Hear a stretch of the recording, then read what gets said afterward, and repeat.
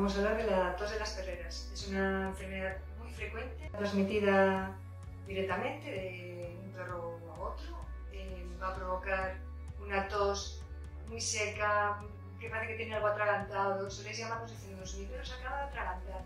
Y no, lo que ocurre es que tenemos una irritación en la garganta que va a provocar esa tos seca. La causa, bueno, pues intervienen tanto virus como bacterias.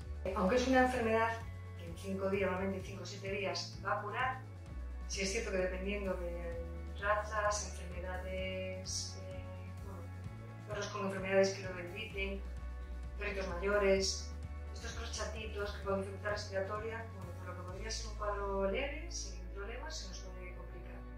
De ahí que siempre recomendamos la, la vacuna. Estamos trabajando con una vacuna segura que va a provocar una inmunidad muy rápida, ahora que estamos hablando todos de inmunidad, esta inmunidad va a ser una vacuna segura y que rápidamente pues, va a proteger a nuestro. ¿Cuándo tenemos problemas de tos de las perreras? Bueno, probablemente aparece cuando llega pues, el, el frío durante el otoño. Vale, incluso durante el invierno tenemos brotes de esta, de esta enfermedad.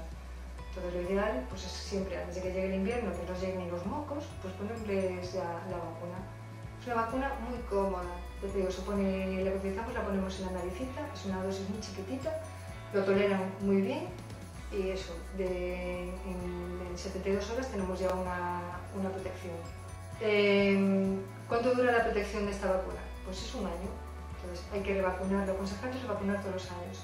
De hecho, durante el verano incluso, seguro que os, eh, cuando si tuvisteis que dejar a vuestro perro en residencias caninas, seguramente os exigirían. Porque es una enfermedad que se contagia muy rápidamente. Entonces, para evitar problemas, ya te piden siempre que en su pasaporte se incluya este tipo de vacunas. Entonces, bueno, aunque hacemos hincapié en esta época del año por el tema de la incidencia de, las enfermedades respiratorias, sí que se puede poner en cualquier momento eh, del año, según la necesidad.